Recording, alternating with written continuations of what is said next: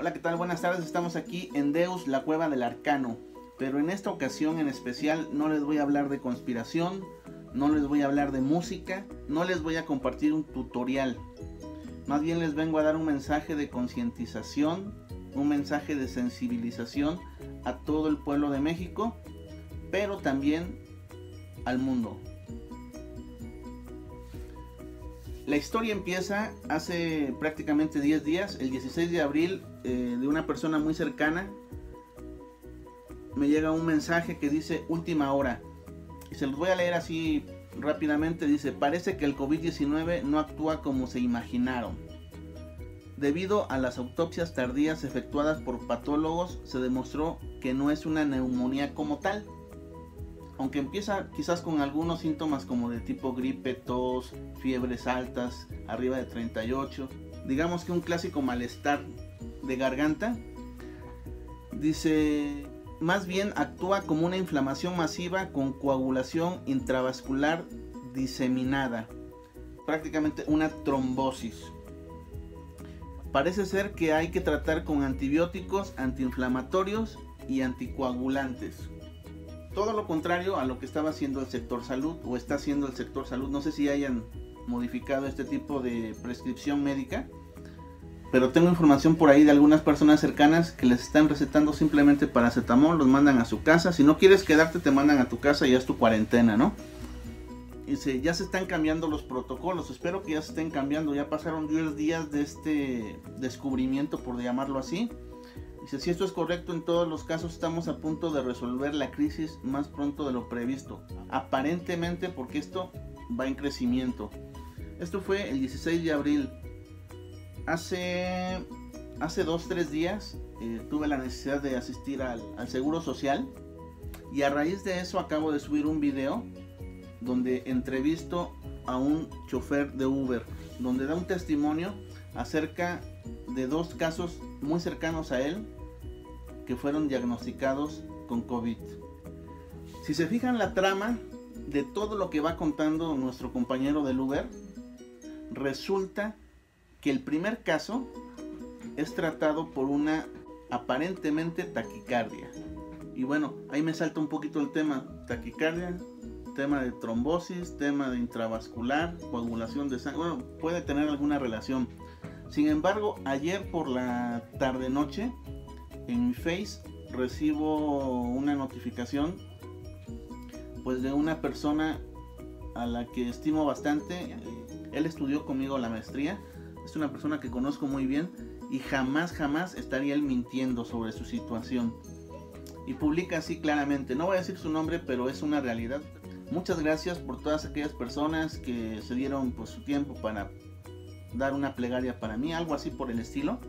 Y entonces pues le enseguida entiendo, ¿no? Enseguida entiendo que pues él fue diagnosticado con COVID y que bueno, gracias a Dios está aparentemente bien por lo que me comenta él.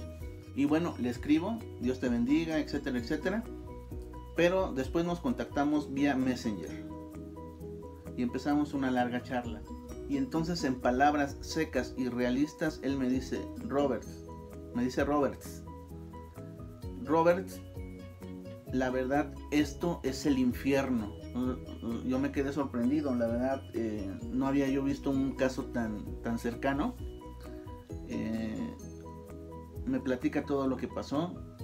Aparentemente él, piensa que quizás en algún autobús pudo haber contraído el virus, aunque pues, muchos de sus compañeros también están en la misma situación, porque estaban en un, en un lugar confinado, digamos, no confinado, pero pues eh, en una plataforma, por decirlo así.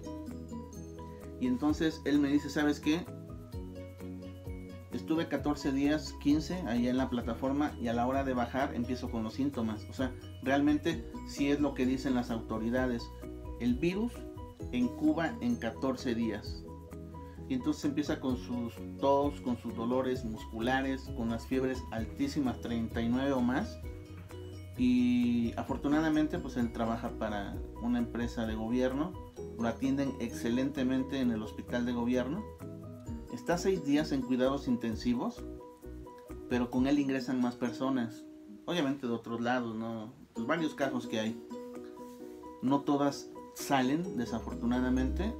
Eh, me cuenta que él al momento de salir, pues hasta le aplauden los médicos. Y él pues se sensibiliza, llora, o sea, la verdad es una historia desgarradora. Y en palabras de él, el infierno. Él incluso empezó a publicar muchas cosas, empezó a tratar de abrirle y sensibilizar a la gente, abrirle los ojos, ¿no? A la gente.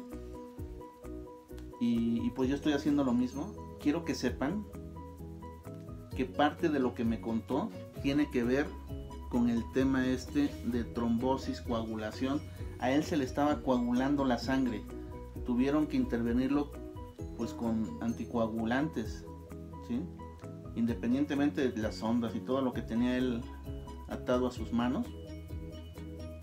Gracias a Dios, pues es una persona fuerte, es una persona de buena complexión y salió adelante aunque él me dice, ¿sabes qué? Todavía tengo que estar pues en prácticamente en cuarentena. Si no me cuido, me puede dar una tuberculosis o una, ¿cómo le llaman? Neumonía fulminante. Y adiós, Robert. Entonces, eh, pues un llamado en especial a todas esas personas que salen y no se cuidan. Sal solamente para lo necesario. Si sales, usa cubrebocas, ya en videos anteriores les había yo comentado, carga tus antisépticos. Puede ser alcohol, agua con cloro, gel antibacterial. Si llegas a tu casa, échate agua clorada en los zapatos. Esteriliza tu ropa, ponla aparte, en una bolsa aparte, sobre todo si tienes familia. Por ejemplo, un servidor de repente llega a la casa de todos ustedes y pues me empiezo a, quitar todo. Afortunadamente mi casa pues eh, tiene garage, entra el carro y regularmente llego de, tarde noche, de oscuro. No sé, me quito casi todo, casi todo, baño casi todo lo que traigo en agua con cloro, todo lo que no se destinta, porque si le echas a este se destinta, ¿no? Y toda la ropa la metemos en una bolsita que se mete agua con jabón y bueno, ya posteriormente se lava correctamente, por llamarlo así. Con tu ayuda podemos detener un poco el impacto de esta gran pandemia. No le juegues al Superman, no le juegues al Batman, no le juegues al Rocky. Eres simplemente un humano que si no se cuida, no la va a contar. Espero esta reflexión llegue a mucha gente. Si se cuida, qué bien. Y si no, empiece a hacerlo porque esta enfermedad, este virus, esta pandemia está a la orden del día. Dios los bendiga.